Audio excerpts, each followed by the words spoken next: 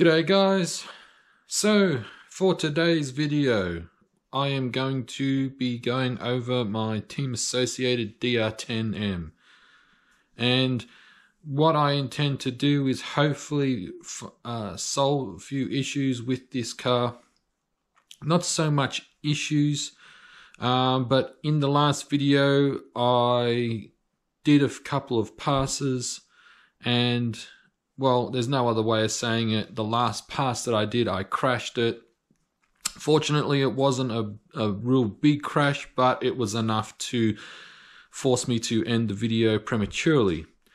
And what happened is I lost uh, one of the tires off the wheelie bar, and I lost and it twisted the wheelie bar out of alignment, and I didn't have the tools with me to fix it and set it properly.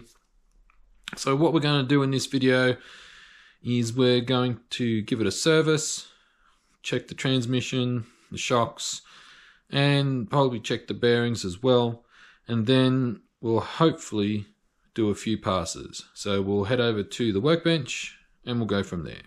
All right. So we have it on the jack stand. So as I mentioned earlier, I lost one of oh, if I can get the shell off. Always seems to there we go. As I mentioned I lost one of the tires off the wheelie bar so was one of one of these and I got a replacement. Um, fortunately like I said uh, there wasn't really any damage that I can see. Um, however yeah, as as I give it a service, um, it will. Ho hopefully, nothing turns up as I'm pulling things apart. So, um, so one of the what we're also going to be doing in this video is apart from giving it a service, is I'm I'm going to be testing some new features with and by that I mean because in the last couple of months, I have bought myself a new radio. I bought myself a Futaba 10PX radio. And one of the neat features of that radio is the trans brake function. So we're going to be giving that a test today, or hopefully in this video. Um, I want to go over some of the, the steering, the shocks, the transmission, I have reset the um, wheelie bar, so that should be good to go. So what I'm going to do is I'm going to disassemble parts off camera and go through with you the inspection and we'll go from there from each point. Alright, so I have the transmission taken out. It's pretty uh, straightforward, just some screws. And um, I'll check the diff in a moment off camera. I will uh, disassemble it, but um, everything seems uh, relatively good. Uh, could probably do with a bit of uh, grease on the gears. But other than that, there doesn't seem to be any damage. The uh, bearings feel good. There's no grinding or any rough edges as I spin it. So that's a plus. So what I'm going to do now is uh, open the diff. We'll inspect the uh, diff fluid and we'll go from there. Well, on close inspection, I mean, apart from don't know if it will come up on camera, but apart from a little discoloration of the diff fluid, but I can honestly say it is fine, it is full. Um, for those wanting to know, uh, I'm I'm can't find the bottle. It's around here somewhere. Um, but I am using Corally two million weight diff oil. So it'd be something that you'd put in like your big eight scale or one six scale um, basher trucks that uh, like your um, Arrma Kraton and Traxxas X-Maxx, that sort of thing. So I've got 2 million weight oil in the diff and it's all good. Hasn't uh, like I said, just a little discoloration, so that's fine. So what I'm going to do is I'm going to put the diff back together, put it back into the transmission case. I will then put some more grease around the gears and then reinstall it and we'll move on to the next part. Alrighty, so transmission is done. It is moving freely. Like I said, there's nothing binding. So what I intend to do now is I will go over the front and rear shocks. I will check. I might as well just drain the shock fluid and redo it again just in case. Um, because I haven't really done anything with this car for a while, so it, it's really just been sitting and doing nothing. So I'm going to do the uh, rear shocks first, then the front shocks, and just check everything, uh, check the preloads, make sure they're equal, and yeah, we'll go from there. So I'll just pause and I'll drain the shocks and we'll just do a quick inspection and then we'll continue on. Alright, so I have done, uh, I have uh, emptied the rear shocks. The oil, the shock oil was clear, which was good. It hasn't, it didn't have that yucky grey discoloration to it. Um, there seems to be no damage to the shocks um, after because I have had a few harsh hits. So they're good. Uh, what I will do now is I'm going to re, re uh, them. So what when I built this, I just used the kit oil that came with it. That so I haven't done anything with it. But what I'm going to do, because I also have a, a DR10 that I have a bit of a setup on. And on the rear shocks, I have TLR 100 weight oil to go on the rear. And then what I will have is um, TLR 30 weight oil on the front shocks. So what I'll do is I'll do the rear shocks, put them on, and then we'll inspect the front shocks, and we'll continue from there. All right, the front shocks have been disassembled and drained of the shock fluid. Everything seems good on both shocks. There's no binding. There's no doesn't appear to be any damage of any kind, which is good.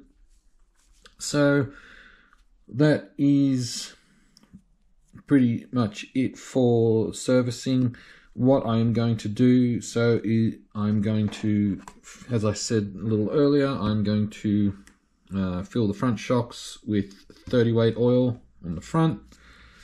And then what I'll do after that is I'm going to go over the hub bearings to check them, make sure they're sweet, make sure there's nothing binding, make sure, well, I might also uh, loose loosen and retighten the upper deck uh, chassis screws just to make sure that there's no tweak in it. And make sure everything's nice and flat. So what I'm going to do is fill up the shocks get them all get them ready. Then I will do the uh, bearings check them and that should be it. So I'll be back in a moment all right so have all the shocks done. Transmission is done. I have also checked the hub bearings. What I do, what I like to do as well is uh, when it comes to um, lubrication and things like that, especially uh, with on-road related um, cars, I like to use uh, a dry PTFE spray so this is the one I use here. Um, the reason why I like to use it, especially on things like the uh, CVDs here, because as you can see, unlike a lot of your off-road stuff, these are exposed. And even though it is on-road, you do get a lot of dust. Um, I find that the with a PTFE spray, it's less likely to attract dust and have dust get into things like the CVDs or the bearings, even though the bearings are shielded. Um, yeah, I, I just like to use a PTFE spray. Um, some people may disagree with me. That's fine. What works for you, you do you. Um, but like I said, I, I find this works well. Especially, um, I have found it works really well on my 8 scale buggies. Um, the CVDs on them are exposed. So, and with off-road, there is way more dust, obviously. So, yeah, I find that works really well. So, it's all done. So, what I'm going to do now is through the magic of video editing, I'm going to have batteries charged and tires are going to be cleaned and we're going to hopefully do some successful passes. So let's get let's get out there and give it a hit. Alrighty guys, we are at the usual testing area, just blown the uh, surface down. So I'm looking forward to giving this a, a test. So, like I said, so we've done the uh, service, done the transmission, done the bearings, done the shock oil. So what I'm, I'm not really looking to uh, lay down the fastest time possible. Um, I want to test some functions on this for this car as um, I have mentioned I have a new radio uh, it's the Futaba 10PX I want to test out the trans brake function on it. And um, yeah just just give it a few passes see how we go. So what I'm going to do is I'm going to set up the camera and hopefully we'll have a few successful test hits. All right. So my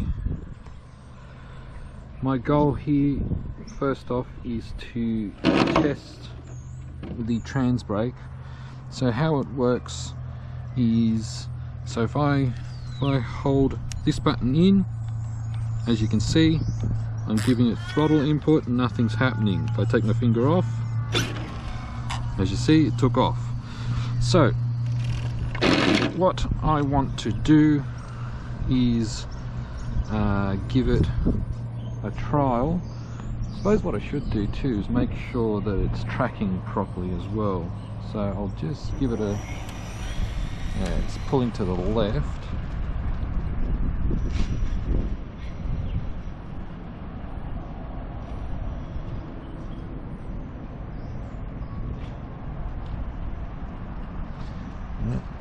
Alright. Alright, big two. Alright. Unfortunately, it doesn't seem to matter how much I blow this down. I seem to have a hard time getting it really clean. Um, so what I'm going to do is we'll give it a quick burn out. Alright, just clean the tyre. Now we'll just give it a burn out.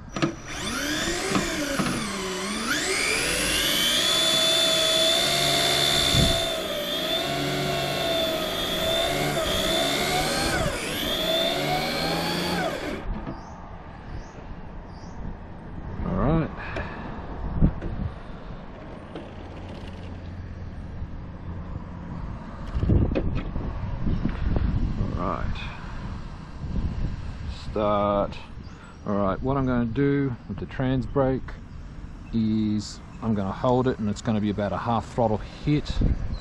So let's see how we go.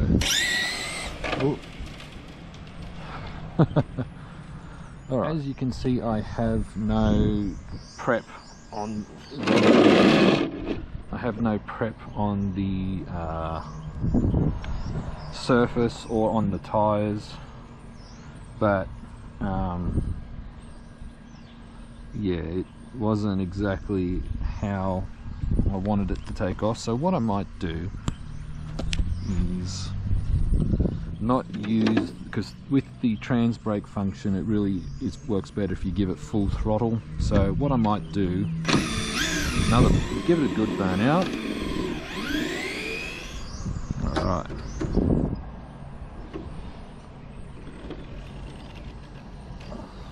all right start give it a small hit mm, okay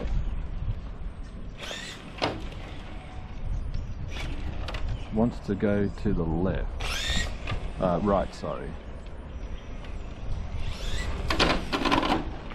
Alright, so it might be a bit of a preload adjustment, so give me a moment guys and I'll be back. Alright, so I've made some preload adjustment.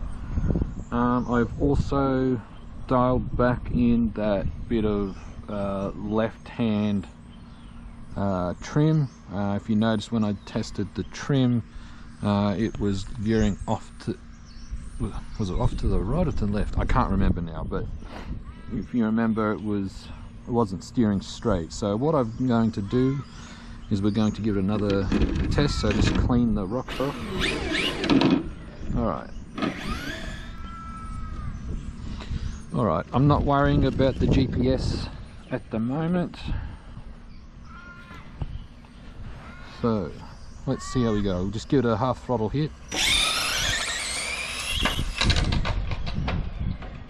Oh, look at that. So what I did there is I gave it half throttle and then once it got up and rolling, I gave it the full beans. So what I'm going to do guys is I'll be back in a second and I will get my GPS and we'll see what kind of uh, time we can do and I'm going to give the trans brake function another go.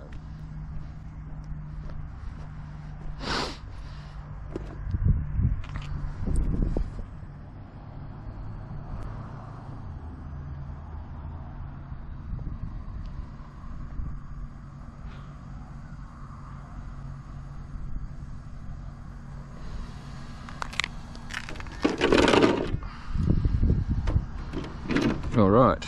So clean the tire off the back. Now I'll bring it into the burnout area. I'll set that drag then give it a burnout.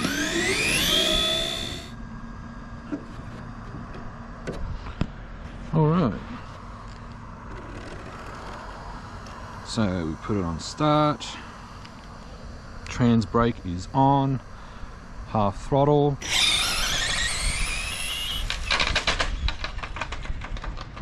Wow, that was that was a good launch. Be interesting to see because as you can see how it's turning to the left, it would appear that it likes that to just to counteract the torque from the takeoff. All right, reread that. All right, so it wasn't real fast. It was only uh, 70 kilometers an hour and it was a three second pass. However like as I'm I'm just getting used to this new radio and the trans brake function so I'm not really worried about setting the fastest time possible. I'm just wanting to uh, get used to it. So what I'm going to do is we'll clear that and I'll set it up again.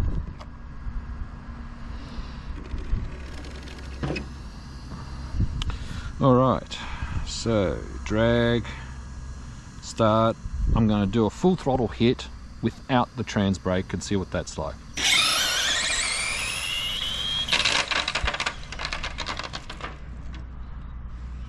Alright, so that was without trans brake. See how it's going to the left? That bit of left trim seems to help because uh, I tell you that was real sketchy there at the start all right read Okay, so that was a 2.84 second pass. Now I know some of you guys are going, boy, that's slow. Yeah, I know. i am only doing this for the fun. So 77 kilometers an hour. That's just a pinch under 50 miles per hour for those playing at home. But 2.84 seconds. Uh, acceleration 1.2 g. Well, that so now comes the real scary part because I'm about to do a trans brake full throttle hit and as you can see there's not a lot of margin for error I've got gutters either side so if it starts to get really sketchy. I'm going to pull like um, I'm going to stop. But what I'm going to do is I've just done a couple of passes in a row. I'm just going to let it cool down first before I give it another hit and we'll be back. So while we are while I'm waiting for the uh, motor and ESC to cool down. Um, I thought I'd show you what I had to do uh, regards the preload. So with the preload it's got to do with the uh, spring collar here. So as you can see the shock body is threaded. So what I've had to do is wind down this uh, shock collar and on this side here I've had to wind it up a couple of notches. So as you can see it's a smaller gap here compared to this side. And as you've seen in uh, those last two passes that I've done it's it's made a considerable difference to the accelerate well not so much just the acceleration but the initial handling of it and its launch. So so far so good knock on wood um, so what we're going to do is um, going to let it cool down for a few more minutes and get ready for the next pass. Alright guys so this next pass like I said I'm going to, I'm quite nervous about because of the gutters because I'm about to do while I did a full throttle hit from the start on that last pass it wasn't with trans brake. So now I'm going to be using the trans brake function to test out just to see how it goes. I while I was waiting for it to cool down I uh, blew down the surface again with my leaf blower. And yeah so gonna give it a burnout and then we're gonna give it a hit. So let's hope this works. All right. Moment of truth guys. Trans brake on. Full throttle. Here we go. I, yeah, I kind of knew that was going to happen, but that's what happens. All right. Start. Trans brake is on. Full throttle.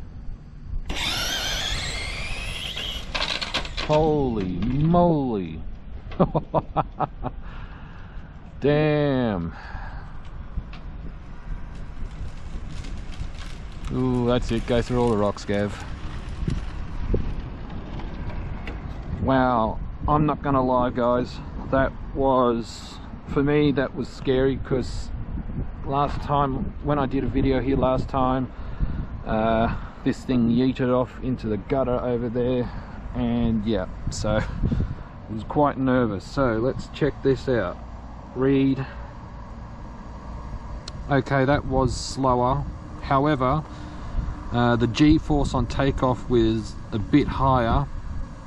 It, uh, the last one was 1.2 g. This is 1.24 I know it, it, it, barely any difference. However um, speed 69 giggity.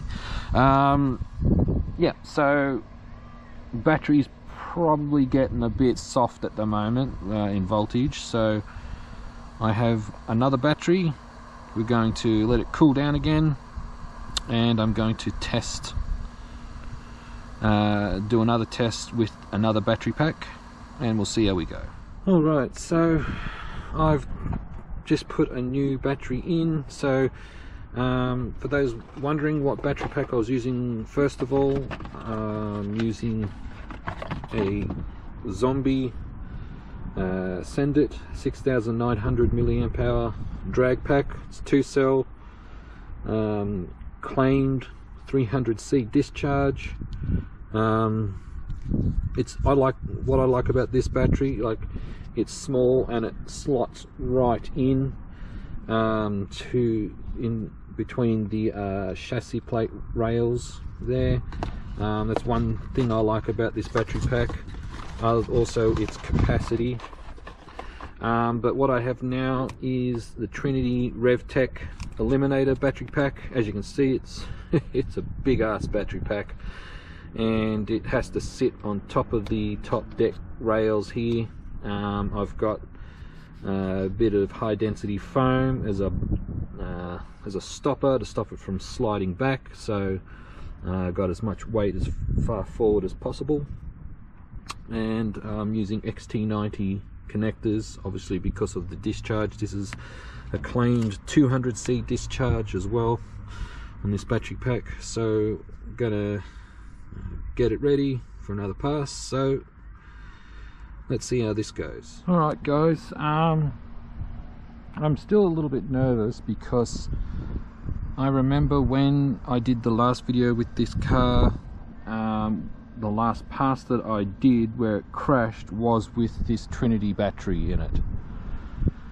Um i mean i don't know if i'm just psyching myself out or whatever but uh, what I'm going to do is I'm going to do a half throttle pass without trans brake first just to see how it goes because it is a bigger battery it is heavier even though it's slightly smaller in capacity.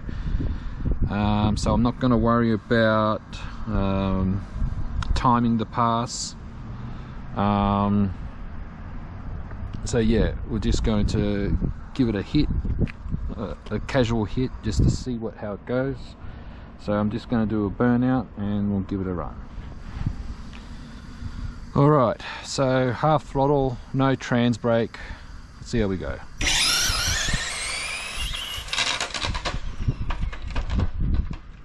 Alright so I can I think I know now where a lot of my issues are. Right where I've just stopped there there's a hump. So as you can see it just went over it. I think that is a lot of my woes right there um, because you know when it's hitting it at speed there's that one there's that you know split second where the rear tires are unloaded and it just lights up. And yeah. So I'm going to do another pass without trans brake um, it'll be a full throttle pass without trans brake and it will be timed. All right. Start. Full throttle. No trans brake. Wait for the truck.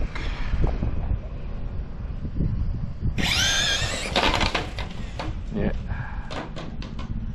I got a little got a little scared I scared myself actually. I overcorrected. But it's better to pull out of it than to crash. Alrighty. Let's see how we go. Start. Full throttle. No trans brake.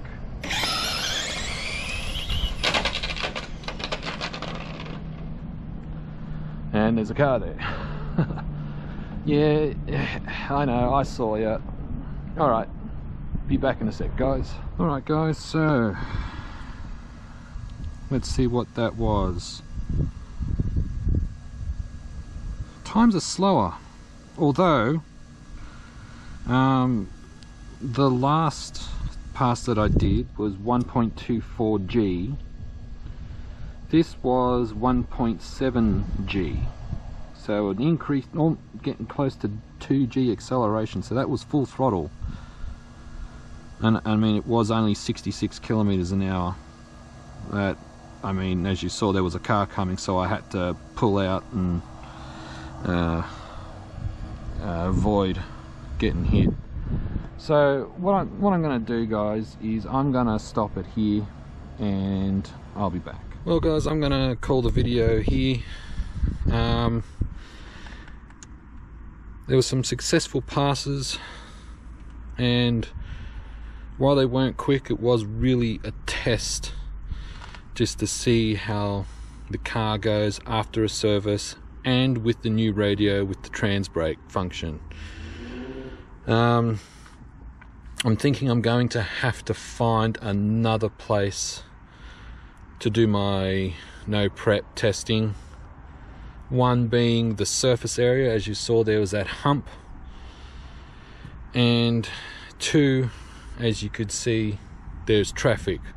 And the last thing I want is my car to get wiped out by a car or a truck. So guys hope you enjoyed this video. If you have any questions or if you have any tips don't hesitate to comment. I will try my best to get back to you. Until then guys enjoy your hobby and cheers